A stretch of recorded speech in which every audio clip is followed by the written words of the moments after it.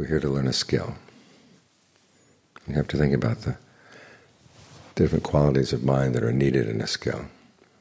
One is determination, that you really want to master this. And two is a sense of stability inside. Because as you're learning a new skill, it can get frustrating when you keep on making mistakes. And if you're not really solid in your confidence that you can do this, gets easy to get to get discouraged. So you've got to keep reminding yourself, this is something that's humanly possible. Other people have done it. I can do it too. But then don't let your self-confidence get in the way of noticing that when you do things wrong, that really is something you want to work on. So you need to be observant. As the Buddha said, the Dharma is nourished by committing yourself to it and then by reflecting on what you've done. So you commit yourself, you have the desire to do it, you have the persistence to stick with it, and you really give it your full attention. While you're here at the monastery, there are many hours where you can give it full attention. When you go home, you may not have that many hours, but you do want to put aside some time out of the day when it's just you and your mind and the breath. And then finally, you use your ingenuity. That's the reflective part. You notice what's right, what's wrong, and then you're trying to figure out why.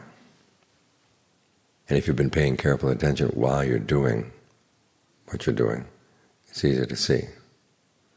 But if you're simply looking at the results, it's hard to make a connection between what you've done and what comes out.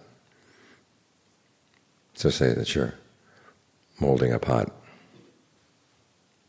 You have to be very careful about noticing the proportions of how you mix the clay, how you put it on the wheel, how you turn the wheel, how you move your hands, what qualities of mind you bring to this.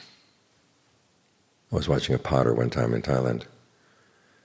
I said, you have to good, have good concentration while you're doing this, right? And he says, yes, your mind has to be set straight up.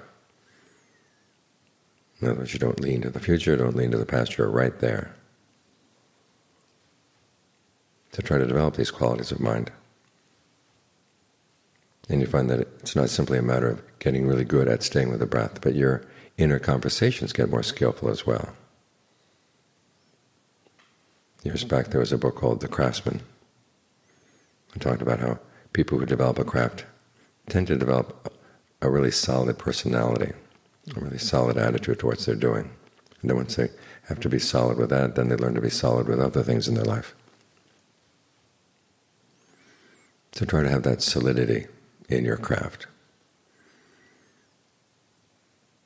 Combined with the powers of observation, you can go far.